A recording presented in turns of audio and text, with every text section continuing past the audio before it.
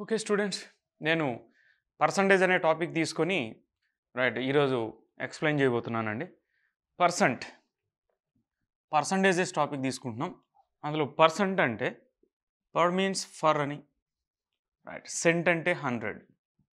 Cent అంటే hundred.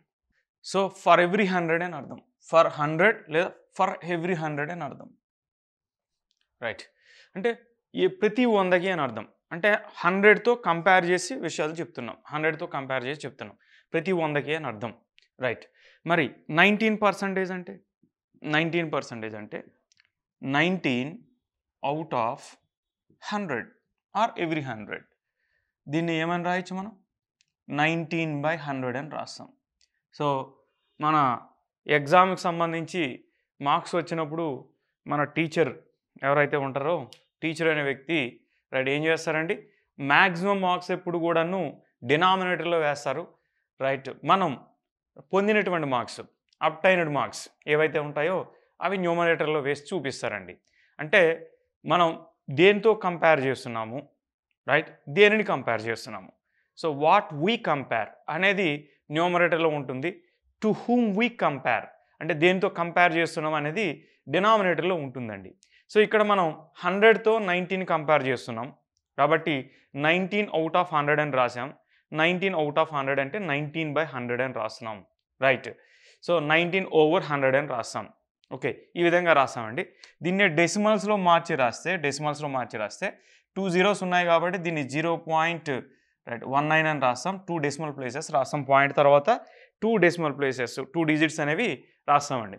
So zero point one nine అని వస్తుంది. మరి ఎక్స్ పర్సంటేజ్ అంటే ఏమని రాయొచ్చు మనం? ఎక్స్ పర్సంటేజ్ అంటే ఎక్స్ అవుట్ ఆఫ్ హండ్రెడ్ అని రాస్తాము. అంటే ఎవ్రీ హండ్రెడ్కి ఎక్స్ వస్తుంది అని అర్థం. ఎవ్రీ హండ్రెడ్కి ఎక్స్ ఉంది లేదా ఎక్స్ వస్తుంది అని అర్థం. అంటే దీన్ని ఏమని రాయొచ్చు మనం? ఎక్స్ బై హండ్రెడ్ అని రాస్తాం. లేదా దీన్నే మనం డెసిమల్స్లో రాసినప్పుడు వన్ బై హండ్రెడ్ కాబట్టి వన్ బై హండ్రెడ్ యొక్క విలువ zero point zero one into ఎక్స్గా రాస్తామండి. ఇంటూ ఎక్స్గా రాస్తాం. జీరో పాయింట్ జీరో వన్ ఎక్స్గా రాస్తామండి. ఓకే. మనం ఇక్కడ రైట్ విద్యార్థులు మార్కులు తీసుకుందామండి. స్టూడెంట్స్ మార్క్స్ తీసుకుందాం. రైట్ స్టూడెంట్ స్టూడెంట్ తీసుకుందాం. స్టూడెంట్ అంటే అమెరికాకు చెందినటువంటి ఓ విద్యార్థిని తీసుకుందాం. అలానే ఇండియాకు చెందినటువంటి ఇంకో విద్యార్థిని తీసుకుందాం. రైట్ అదేవిధంగా రైట్ చైనాకు చెందినటువంటి విద్యార్థిని తీసుకుందాం. యూకే యూకేకి చెందినటువంటి విద్యార్థిని తీసుకుందామండి. సో విద్యార్థులు. So marks obtained. మా పొందిన మార్కులు. Marks obtained. రైట్ పొందినటువంటి మార్కులు అండి. సో అమెరికాకి చెందినటువంటి విద్యార్థికి రైట్ ఈ హ్యాస్ అమెరికాకు చెందినటువంటి విద్యార్థికి వంద మార్కులు వచ్చినాయని తీసుకుందాం. ఇండియాకి చెందినటువంటి విద్యార్థికి రైట్ ట్వంటీ ఫైవ్ మార్క్స్ వచ్చాయని తీసుకుందాం. చైనాకి సంబంధించినటువంటి విద్యార్థికి సెవెంటీ మార్క్స్ వచ్చాయని తీసుకుందాం. యూకేకి చెందినటువంటి విద్యార్థికి సిక్స్టీ త్రీ మార్క్స్ వచ్చాయని తీసుకుందామండి. రైట్ మరి అలా అయినప్పుడు రైట్ ఏ విద్యార్థి యొక్క పర్ఫార్మెన్స్ బాగుంది అని అడిగా అనుకోండి. సో ఏ విద్యార్థి యొక్క పర్ఫార్మెన్స్ బాగుందంటే ఇలా చూస్తే మీరు అమెరికాకు చెందినటువంటి విద్యార్థి యొక్క పర్ఫార్మెన్స్ బాగుంది అని చెప్తాం. కానీ మీకు అంతకు ముందే ఏం చెప్పానంటే రైట్ సో ఈ ఈ ఈ hundred twenty five seventy sixty three తీసుకున్నప్పుడు హండ్రెడ్ మార్క్స్ వచ్చాయి కాబట్టి అమెరికాకు చెందిన విద్యార్థి యొక్క పర్ఫార్మెన్స్ బాగుందని చెప్తున్నాం. కానీ బేస్ ఏంటి? ఆధారం ఏంటి రైట్. ఏ ఆధారంగా దేని ఆధారంగా? అంటే వీటన్నిటికీ ఆధారం ఒకటేనా? బేస్ అనేది ఒకటేనా? కాదా అనేది మనం నిర్ణయించుకో నిర్ణయించుకోవాలండి. సో బేస్ అనేది మనకి ఇచ్చాడు? ఆధారం అనేది ఇచ్చాడా? లేదా కంపేర్ చే దేంతో కంపేర్ చేసి చెప్తున్నాడు? టోటల్ మార్క్స్ ఏంటి? లేదా మ్యాక్సిమం మార్క్స్ ఏంటి అనేది ఇక్కడ మనకు తెలియదు మ్యాక్సిమం మార్క్స్ తెలియదు కాబట్టి వీళ్ళ యొక్క పర్ఫార్మెన్స్ ఎవరిది బెటర్గా ఉంది అనేది మనం చెప్పలేం. కాబట్టి మ్యాక్సిమం మార్క్స్ అనేది తీసుకోవాలండి. మ్యాక్సిమం మార్క్స్ అనేది తీసుకోవాలి. సో మ్యాక్సిమం మార్క్స్ అమెరికాకు చెందిన విద్యార్థి యొక్క మ్యాక్సిమం మార్క్స్ థౌజండ్ అని తీసుకుందాం. ఇండియాకు చెందిన విద్యార్థి యొక్క మ్యాక్సిమం మార్క్స్ ట్వంటీ ఫైవ్ అని తీసుకున్నాను. చైనాకు సంబంధించిన విద్యార్థి యొక్క మ్యాక్సిమం మార్క్స్ త్రీ ఫిఫ్టీకి పెట్టారు ఎగ్జామ్.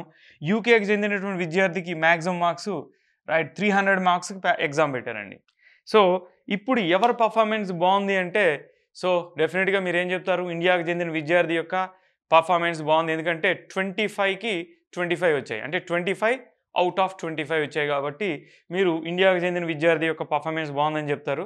సో ఓ ఇందులో రైట్ బాగా పర్ఫార్మెన్స్ చాలా దీనిగా ఉన్నటువంటి వీక్గా ఉన్నటువంటి వ్యక్తి ఎవరంటే అమెరికాకు చెందినటువంటి విద్యార్థి. ఎందుకంటే థౌజండ్ మార్క్స్కి హండ్రెడ్ వచ్చాయి కాబట్టి అతని పర్ఫార్మెన్స్ బాగాలేదని చెప్తారు. కానీ ఇంకా మనకి మన సెన్స్కి అనమాట ఖచ్చితంగా కంపేర్ చేయడానికి మన సెన్స్కి ఎవరి తర్వాత ఎవరు వస్తారనేది ఖచ్చితంగా మనకు ఒక అంచనా రాలేమండి.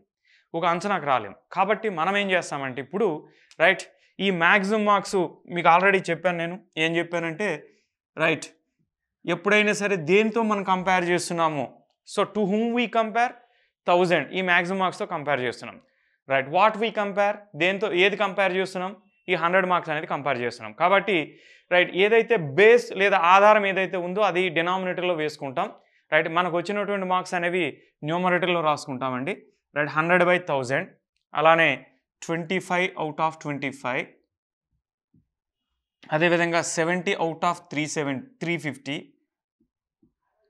Okay sixty three out of three hundred అని తీసుకుంటామండి. సో ఈ విధంగా రాసామండి. ఇప్పుడు మీరు ఒకసారి మీరు మీరు అబ్జర్వ్ చేస్తే త్రీ హండ్రెడ్ మార్క్స్కి సిక్స్టీ త్రీ మార్క్స్ వస్తున్నాయండి. దీన్ని మనం పర్సంటేజ్లోకి మార్చుకుంటే మనకి సులభంగా అంటే దీనికి సంబంధించి కంపారిజన్ అనేది మనం ఈజీగా చేయగలుగుతాం. అంటే ఎవ్రీ త్రీ హండ్రెడ్కి right UK student got sixty three marks అండి. So UK student sixty three marks పొందాడు. సో మరి హండ్రెడ్కి ఎన్ని మార్క్స్ వచ్చాయి? ఇది క్వశ్చన్ మార్క్ అండి. సో ఇలా అయినప్పుడు ఒకసారి చూడండి. Three hundred marks hundred marks అయింది. అంటే ఇది ఏ రేషియోలో తగ్గిందో సిక్స్టీ త్రీ కూడా అదే రేషియోలో తగ్గుతుంది. అంటే మనకు ఉన్నటువంటిది ఏంటంటే ఇది? డైరెక్ట్ ప్రొపోర్షనాలిటీ అనేది ఉంది అనులోమానుపాతం అని చెప్తాం. అలా అయినప్పుడు ఏం చేస్తామంటే ఇలా క్రాస్ మల్టిప్లై చేసి రాస్తాం. కాబట్టి అలా రాసినప్పుడు ఏమొస్తుంది? Sixty three into hundred divided by three hundred అండి. రైట్. త్రీ హండ్రెడ్కి సిక్స్టీ త్రీకి త్రీ హండ్రెడ్ ఉంటే హండ్రెడ్కి ఎంత? అంటే మల్టిప్లై చేయాలి. కాబట్టి ఈచ్ అండ్ ఎవ్రీ ప్రతి ఒక్కదాన్ని మనం హండ్రెడ్తో మల్టిప్లై చేసి రాస్తే దేంట్లోకి కన్వర్ట్ అవుతుంది? పర్సంటేజ్లోకి మారుతుంది. వందకి ఎంత ఎవ్రీ హండ్రెడ్కి హండ్రెడ్కి ఎంత అని క్వశ్చన్ చేస్తున్నాం. అంటే పర్సంటేజ్లో కన్వర్ట్ అవుతుంది. So sixty three by three hundred into hundred అని వస్తుందండి.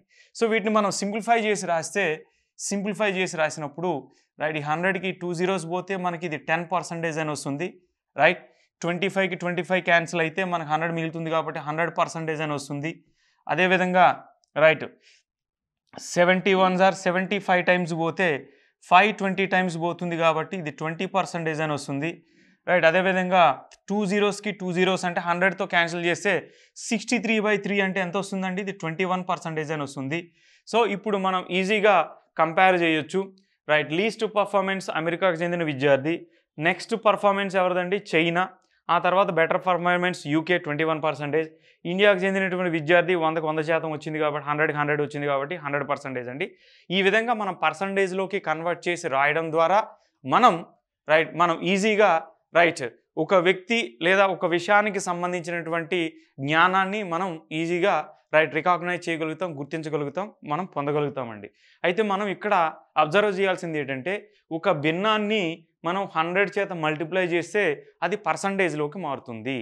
Right to express a fraction as a percentage it should be multiplied by hundred right ఒక భిన్నాన్ని వంద చేత గుణిస్తే అది శాతంలోకి మారుతుంది పర్సంటేజ్లోకి మారుతుందండి. ఇది మొదటి గమనిక.